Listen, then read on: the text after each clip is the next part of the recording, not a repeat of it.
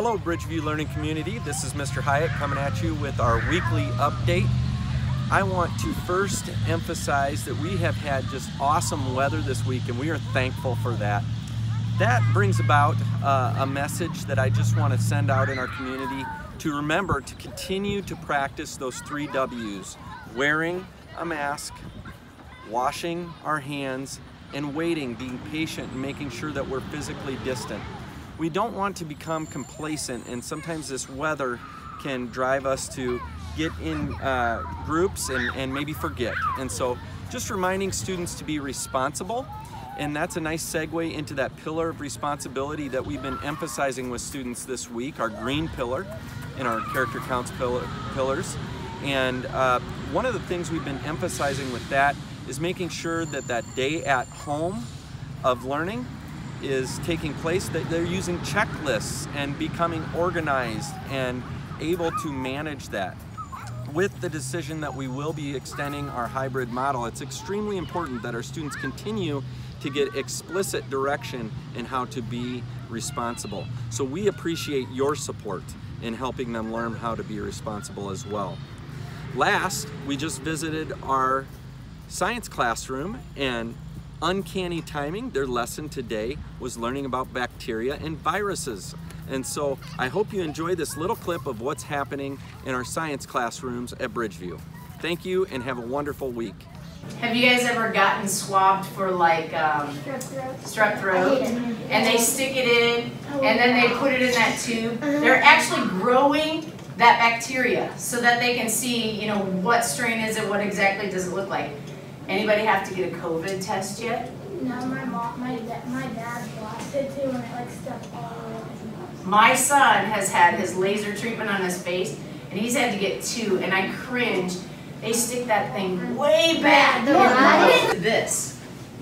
So when you have COVID, for example, their newest, latest research is saying that that virus gets into one of your white blood cells, the white blood cell that is responsible for passing oxygen through your body. That's why people with COVID have such lung troubles and breathing troubles because they can't get the oxygen because of this virus. Because you guys are going to play doctors today. Or you're going to be like Nurse Stroby today. I don't know. You can decide. So if you have your glue sticks with you, open up your notebook. You're going to want to put this in. I'm going to go through a couple of these with you, how to do it. Then you guys are going to go on your own and finish them. So we'll do like Susie, Harrison, and Lily together, okay? So you have to help Milo. Remember at the beginning, they talked about, I think uh, that story was so long ago, talked about a sickness in school. So we are going to continue.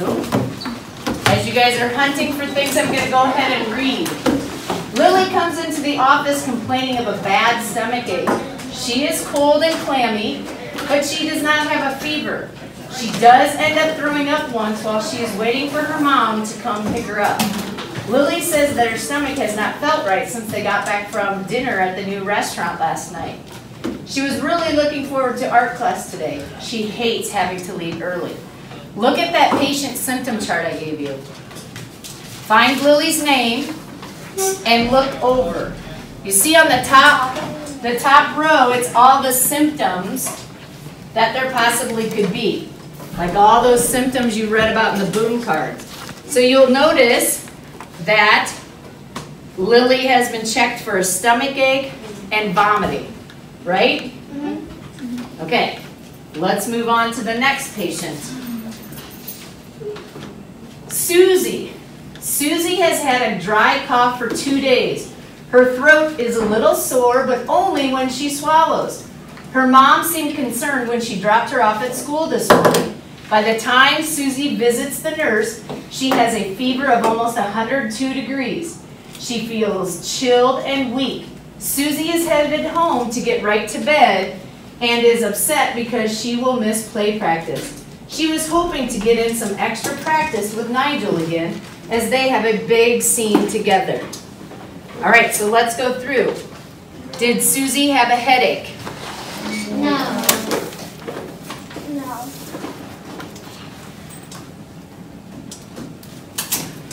thinking of the next one. Okay. Does she have a red sore throat? No. Her throat is a little sore. Yes. You need a pencil.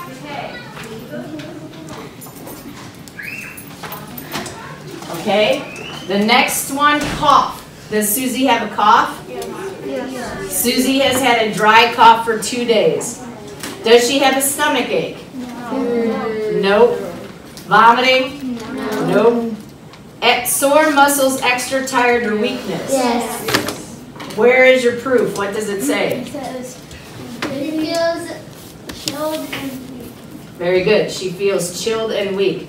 Fever? Yes. Yes, as a matter of fact, it's 102, right? Swollen glands? No. No. Someone in the last class said yes. Now, we can assume, based on what we did with Prevention Pat, that she probably does have swollen glands, but has anyone actually checked her for swollen glands? No. No. So we cannot mark it down unless it's actually a fact that was written in their story.